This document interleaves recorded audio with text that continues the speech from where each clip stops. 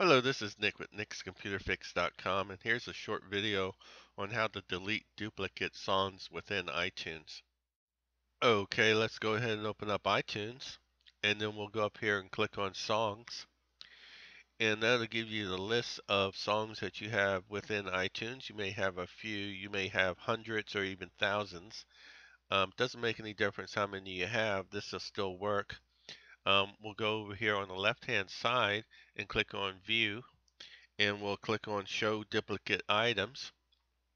And that'll give you a list of all the duplicates you have and you highlight them um, you can use the control key or the shift key to um, select multiple um, items or songs. And then once you have right click and go down and click on delete. And then you'll be prompted with this message here that says, Are you sure you want to delete these songs from the iTunes library?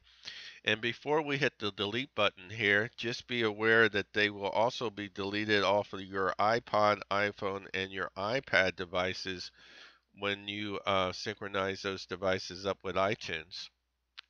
Okay, let's go ahead and click on delete songs here. And uh, we'll go over here and click on view. And we'll click on show all items. And as you can see, the duplicate songs have been removed from iTunes.